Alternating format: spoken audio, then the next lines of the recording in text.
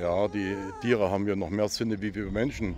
Und die merken, dass die Natur jetzt auch bei uns hier fast auf 1000 Meter grün wird. Ne? Die riechen das Gras. Jetzt ist die Winterzeit vorbei.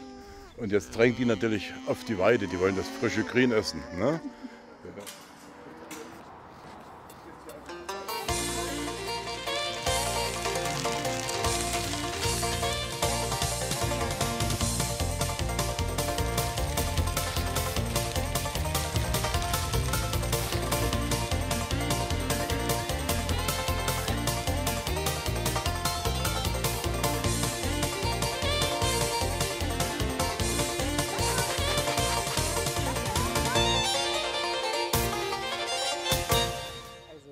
Jetzt war Weideauftrieb in Oberwiesenthal auf die Traumweide.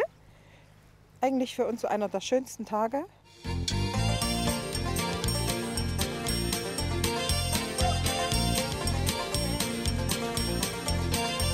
Also Alpakas wälzen sich ganz gerne. Das ist einfach so ein Zeichen von Wohlbefinden. Und sie haben hier ihre Stellen, an denen sie sich ganz besonders gerne wälzen. Und das haben sie jetzt natürlich gleich erstmal ausgiebig gemacht. Dabei ist das ein oder andere Alpaka jetzt umgefärbt von weiß auf schwarz.